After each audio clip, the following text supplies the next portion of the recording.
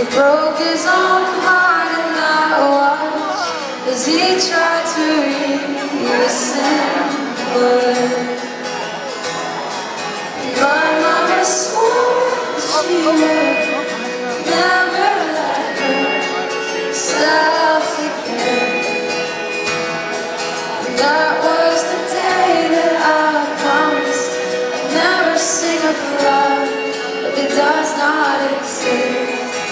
not